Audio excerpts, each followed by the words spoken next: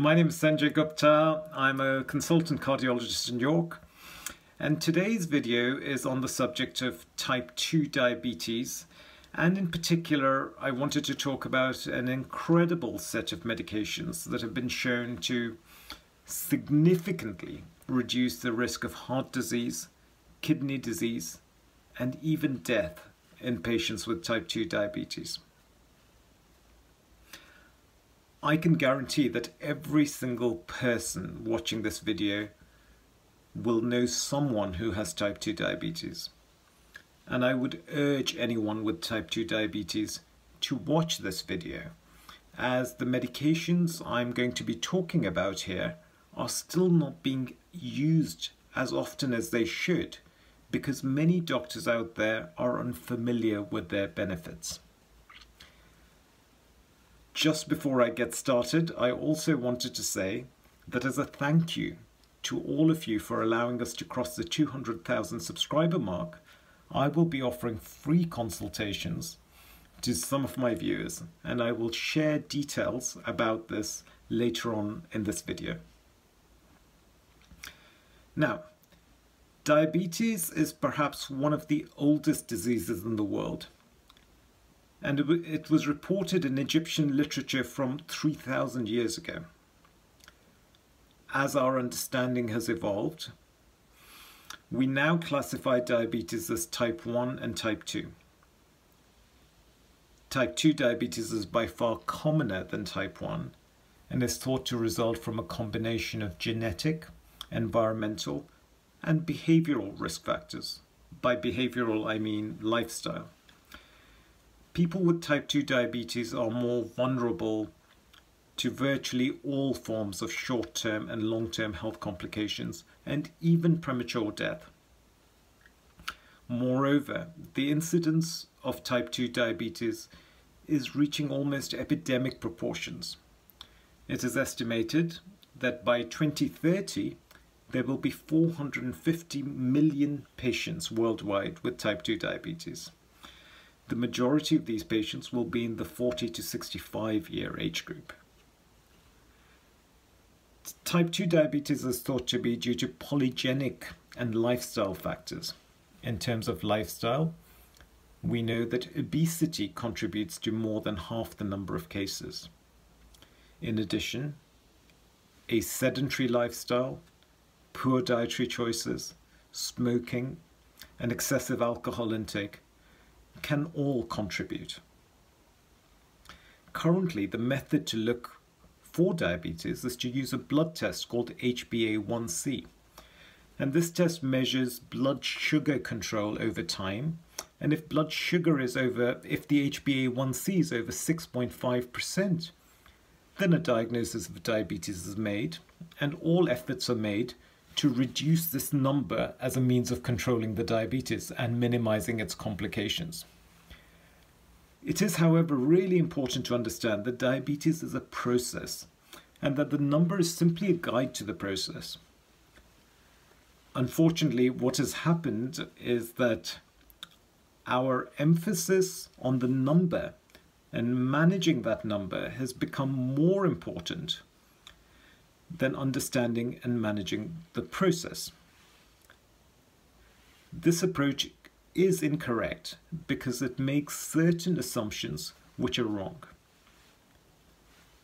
We make the assumption that the process starts when the number goes up.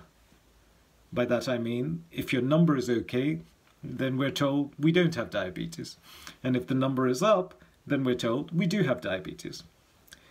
The problem is that the process may have started long before the number starts going up. And therefore, you may, you know, people who may have the problem going on may not be diagnosed. In fact, a lot of research says that up to 25% of patients with type 2 diabetes will have microvascular complications at the time of diagnosis, suggesting that the process had been going on for several years before the number reached the point where we make the diagnosis. Another problem with the approach of relying on the number is that it makes the assumption that if you control the number, you've controlled the process, and that by doing so, you're preventing bad outcomes for the patient. Now, when we look at all the studies, they suggest that yes, if you focus on just controlling blood sugar intensively, we do reduce the chances of microvascular complications such as eye disease and kidney disease. But there doesn't appear to be any overwhelming reduction in the risk of macrovascular complications such as heart attacks and strokes. And this observation may again lend credence to the idea that diabetes is more than just a number, and that perhaps we should be understanding the underlying process better and treating the process rather than what is a surrogate, i.e., the HbA1c level. In fact, when we combine lifestyle changes with medications, we see better results. And perhaps that is because lifestyle measures probably address the underlying process better, whereas some of the commonly used medications perhaps just tackle the number. This is where this new set of medications that I wanted to talk about come in. These medications are called SGLT2 inhibitors, and they're being seen now as a game changer in diabetes management because they don't seem to have a dramatic effect on blood sugar levels, but they do seem to have a significant benefit in terms of cardiovascular and renal complications and events. SGLT2 inhibitors, SGLT stands for sodium glucose cotransport, cotransporter 2 inhibitors, are a class of medications which are now commonly available and they were developed based on the discovery of a substance found in uh, the apple, uh, the bark of the apple tree.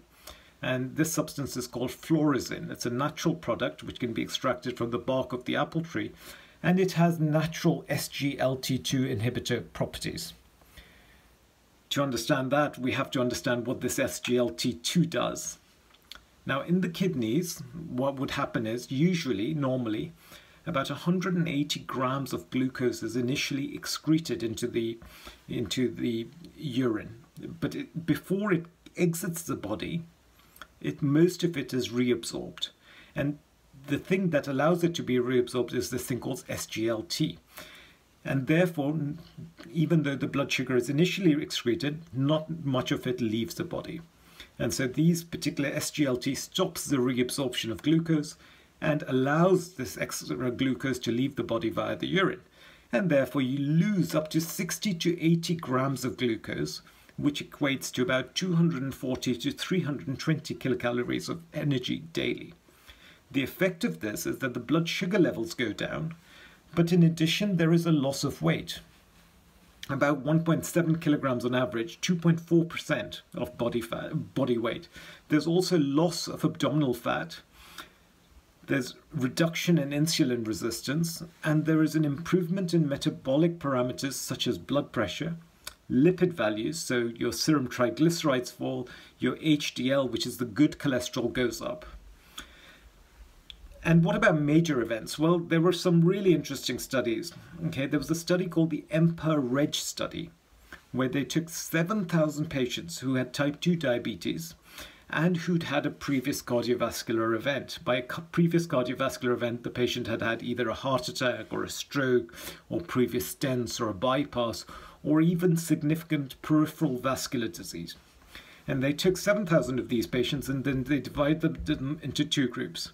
In the first, they added an SGLT2 inhibitor called empagliflozin to the usual treatment. In the second, they just gave them a placebo on top of usual treatment. And they then studied what happened to these patients, and they studied them for a median of about 3.1 years. And what they found was pretty amazing.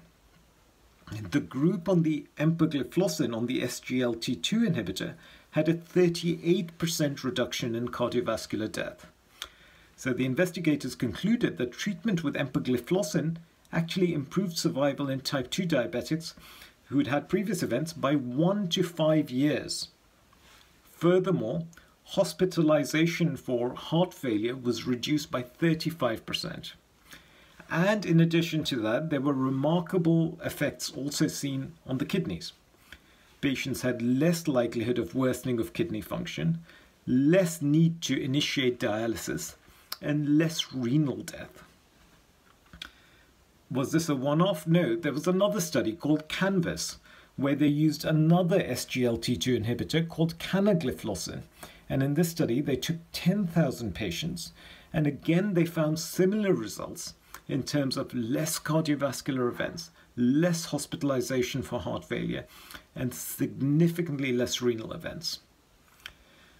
What about side effects? In terms of side effects, well, these medications obviously lower the blood sugar because they make you pass more glucose in your urine, and therefore there is an increased risk of hypoglycemia or causing excessively low blood sugars, especially if they're added on top of other sugar lowering medications, other anti diabetic medication.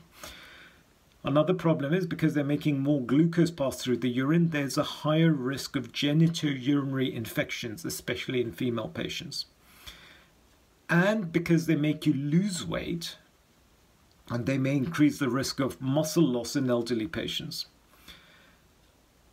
You need to be able to pass urine to, for these medications to work, and therefore they're not really recommended for patients who have very, very bad kidney function or patients who are, are unable to pass any urine and are on dialysis. But otherwise, they sound very promising indeed. Uh, so in summary, here are the main messages that I wanted to highlight. Okay, number one, I, type 2 diabetes is a process, not a number. Number two, efforts at simply making the number look better with medications don't seem to translate into a significant improvement in cardiovascular events in patients with type 2 diabetes. Number three, lifestyle changes are important, because they tackle the underlying process as well as the number. Number four, these new medications, the SGLT2 inhibitors, seem to tackle more than just the number in patients with type 2 diabetes and have been shown to dramatically improve prognosis in those patients who have type 2 diabetes who've had a previous vascular events such as a heart attack, stroke, peripheral vascular disease, bypass stents.